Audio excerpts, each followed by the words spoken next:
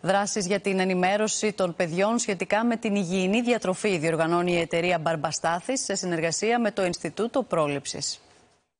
Στο πλαίσιο του προγράμματος σύντησης και προώθησης υγιεινής διατροφής διατροφή, η εταιρεία Μπαρμπαστάθης που δραστηριοποιείται στην Ελλάδα εδώ και περισσότερα από 50 χρόνια και ο μη κερδοσκοπικός επιστημονικός οργανισμός πρόληψης υλοποιούν πρότυπες δράσεις με στόχο την οικοδόμηση σωστών διατροφικών συνηθιών στα παιδιά προσχολικής και σχολικής ηλικίας. Τα λαχανικά είναι ένας πολύ σημαντικός παράγοντας στη διατροφή μας που δεν πρέπει να λείπουν ποτέ από το καθημερινό μας γεύμα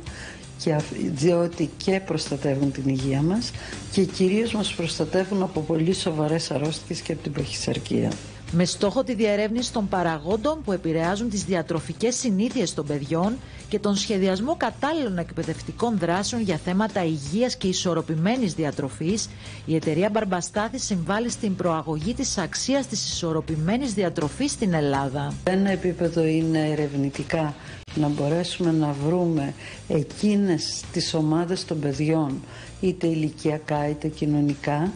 που χρειάζονται ενίσχυση στο να αποφασίσουν και να συνηθίσουν να καταναλώνουν λαχανικά